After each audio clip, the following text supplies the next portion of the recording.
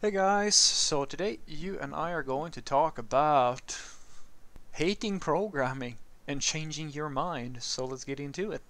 So the question in question was, Hi Fredrik, I hate programming.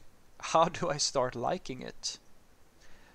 Well, I I'm gonna ask you what I asked my friends when I was a teenager when they tried to make me uh, start drinking beer.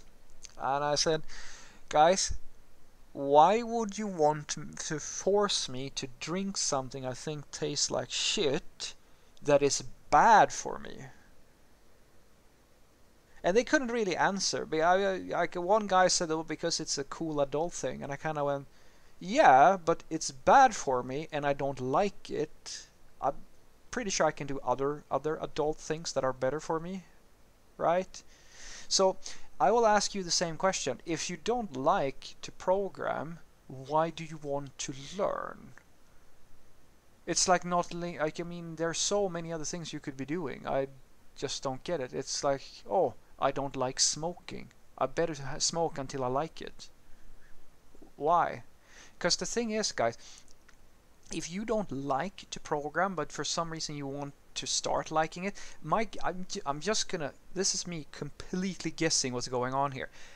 Then I am assuming here is that you believe that software development and programming and all of this good stuff is somehow your most feasible option to make a living or it's something that has a coolness factor maybe or something like you, you it's clear to me that you're not getting into programming for the right reasons if you ask me now i'm not going to say too much about the right reasons here but i believe that if you want to be happy as a programmer it's it's kind of impo- it's kind of important that you enjoy something about it. If you really hate it, like, and I don't think anybody, regardless of where you work, should work with to do do some I, doing something that feels meaningless to you or feels hard, feels like boring or unfulfilling. It's gonna be soul crushing. Even if I love programming and you don't I would never force I would never suggest you that you get into programming because there's a lot of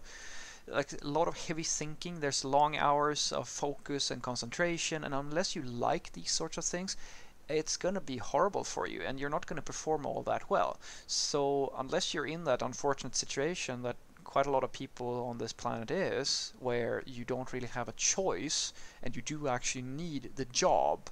I would say don't do this. Don't do this to yourself. Try to find something that you at the very least don't hate and make your living that way. Because sure there is there are a lot of jobs and, secu- and a fair bit of job security as a software developer but you do need to to get past the initial hump you need to invest quite a bit uh, up front and once you have invested and you actually get some experience then all of these benefits come. But to get to that point, you do actually need to work, and sometimes you need to actually put yourself a little bit out there, and might you might actually struggle a little bit. But once you're in, uh, if you do really decide that, well, I've already invested this, and I kind of went and became uh, like unfulfilled by this work, and I want to change my attitude towards it. Well, if that is your scenario, and you at one point started programming and you know that if you just stay here you're going to be fine and you really want to make sh- uh, you really want to stay I would suggest that you need to ask yourself what is it that you find fulfilling about programming because fundamentally it's about creation and expressing expressing yourself and innovation. All of this stuff. That is what programming is.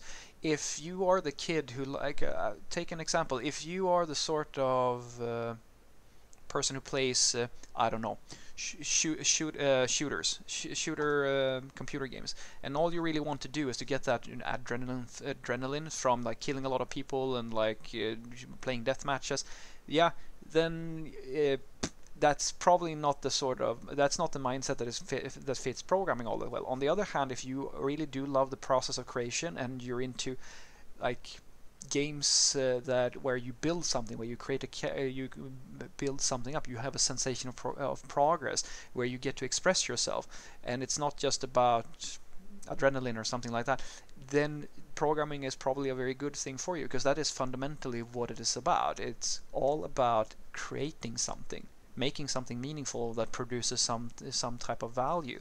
Solving problems figuring out okay how can i make this work so that it so that some higher goal is fulfilled? And that process of creation everybody every, i think that every human at uh, on different levels love to build things. It just depends on how like at what level do you feel fulfilled of creation? Some people need to have building like legos to feel that it's fun to build something and some people want to start with a completely empty like a just a box of tools and start from scratch. It all depends on where where you want to be. And unless you can feel that sensation of fulfillment in code in programming you're never going to like it that that's the fundamental truth. You will never love working as a programmer unless you uh, unless you can get to a point where you love to build things, to create something useful.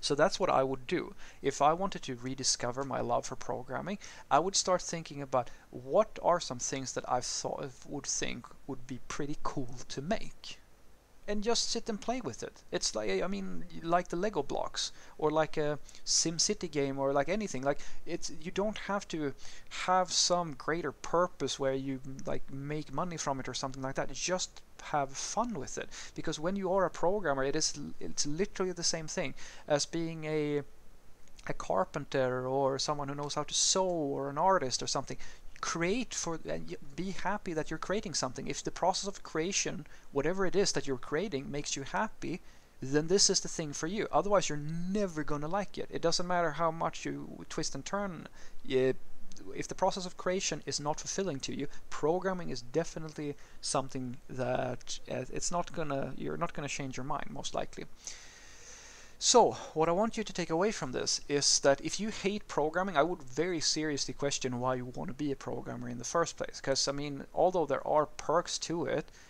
it's not like everything is awesome all the time as a software developer. So, um, unless you, like, I, I would start there. Ask yourself, is there something else going on in your life or some other profession you feel could be more, at least not Uh, at least something that you don't hate. That would be good.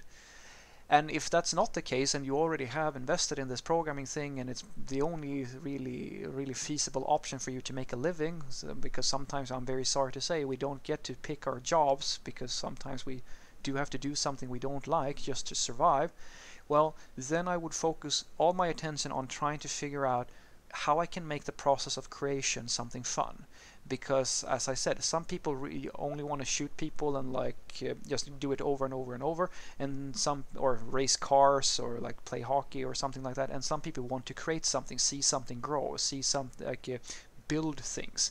That's the sort of person that you need to be in order to enjoy programming. You need to find it stimulating to create and solve problems and it doesn't really matter how you do that. Pick anything. If it's about i mean if you want to work on arduinos or you want to create computer games you want to create websites it doesn't matter. Just pick something that seems fun to make. Just like an artist just picking an arbitrary thing to draw just because right now right here i feel like yeah this would be a fun drawing to make. Doesn't have to be more advanced than that. Have a great day